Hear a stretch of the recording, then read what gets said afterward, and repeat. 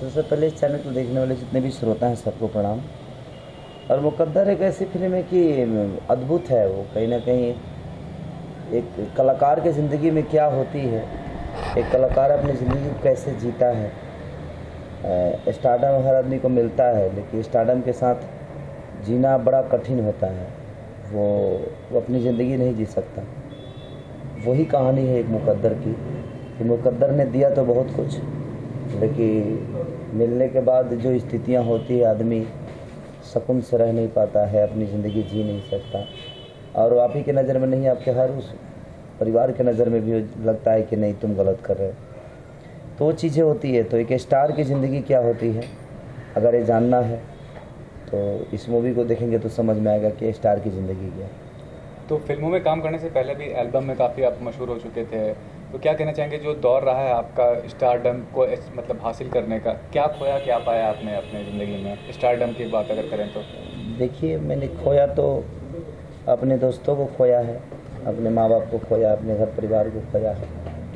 लेकिन उससे कई गुना ज़्यादा मोहब्बत मुझे पब्लिक से मिली है। तभी मैं आज इस जगह पर हूँ, यहाँ पे बैठा हूँ। वो चीज़ें याद तो आती है, बचपन की हरकत, शरारत, जो दोस्तों के साथ आदमी करता था। अपने माँ के हाथ का खाना खाना वो अब नसीब नहीं रह गया। तो कहीं ना कहीं चीज़ें जो फैमिली वाली चीज़ें हैं माँ बाप अपने बच्चों से दूर रहना पड़ता पड़ता है इस काम के लिए। तो है, लेकिन एक परिवार हो गया है हमारा फ़िल्म दुनिया। हमारी फ़िल्म इंडस्ट्री एक परिवार है और आज आदमी जीता है तो बस सिनेमा के लिए जीता है, अपने काम के लिए जीता है।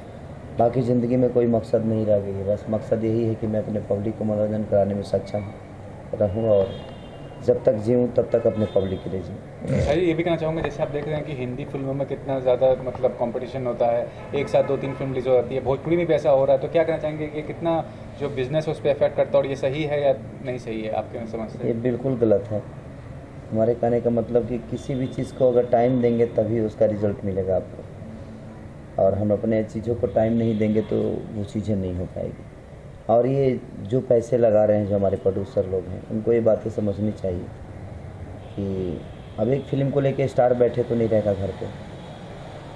उसको काम करना है, लेकिन उनको ये ऊपर नीचे डेट कर कर के और एक दूसरे से लड़ जाना, भिड़ जाना, इसमें बिज़नेस का इफ़ेक्ट होता है कि हमारी पब्लिक कितना एक दिन अगर एक ही स्टार की दो फ़िल्में लगेगी तो कहाँ जाएगी? तो चीज़ें बढ़ती है।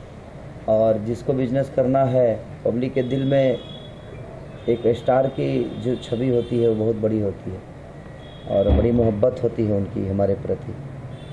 तो ये कहीं ना कहीं प्रोड्यूसरों को भी सोचना चाहिए कि भाई हम अगर सिनेमा बनाए हैं, पैसा खर्चा किए हैं तो हम ऐसा करें ताकि सबका भला हो, सबका विकास हो। तो हर आदमी को ये अनुभव होता है कि नहीं, मेरी चीज़ें बड़ी है। रिलीज़ होने के बाद समझ में आता है कि बड़ी क्या है। और लास्टली ये पूछना चाहूँगा आपका और जो अम्पाली जी का एक गाना है दस करोड़ व्यूज़ क्रॉस कर गया जो बहुत बड़ी बात है। पहली बार ऐसा हुआ मेरा नहीं है वो। नहीं है? वो मेरा नहीं है। है? अभी मैंने किया है अच्छा। मरपाली जी के साथ एक दुल्हनी गंगा पार फ़िल्म अच्छा। वो दिनेश जी का सॉरी पवन जी का पवन जी का पवन जी का पवन जी का और मरपाली जी का हुआ है। लेकिन तो आपके भी काफ़ी व्यूज़ आते हैं क्या कहना चाहेंगे जो मतलब ये तो पब्लिक का प्यार है हमारा भी बस भी नहीं है वो। कहीं ना कहीं पब्लिक का मोहब्बत है। और पब्लिक मेरी चीज़ों को अगर पसंद करती है तो मुझे खुशी होती है अच्छा। कि हम एक अच्छा काम किए हैं। अच्छा। तो बस हम काम करते जाते हैं। रिज़ल्ट क्या होता है बस ईश्वर और अपने पब्लिक पे छोड़ देते हैं।